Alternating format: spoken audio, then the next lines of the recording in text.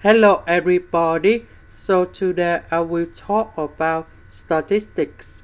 The topic today is about sets and universal. So now I will show you how to answer. Question A. A intersection with B. So when A intersect with B, we see that we have A, we have B. So we need to find which one they have the same. So we just have only number 2, number 5, number 2, number 5. So the answer for this one that should be about 2 and 5. Similar for the second one. That's about intersection between A and C. So we need to find the same number in here. So we have 3, number 5, we have number 5 in here, and we have number 5 in here, number 1 in here, and we have number 1 in here.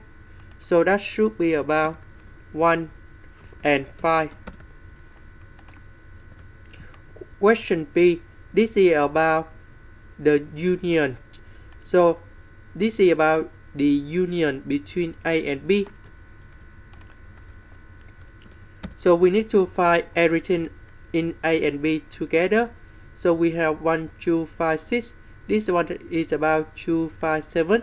So we need to write into 1, 2, 5, 6, 7. And the next one, that's about the union between B and C. So we have 2, 5, 7. We have 1, 3, 5, 7, 9.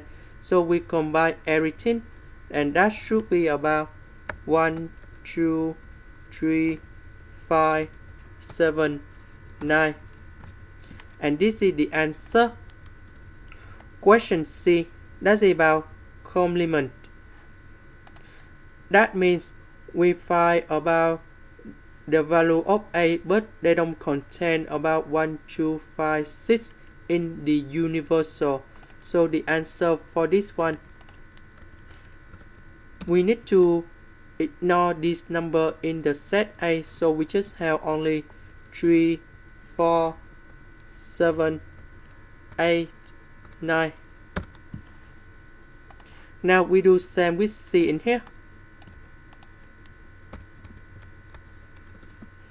So we need to ignore this number in set C. So we just have only two, four, six, eight.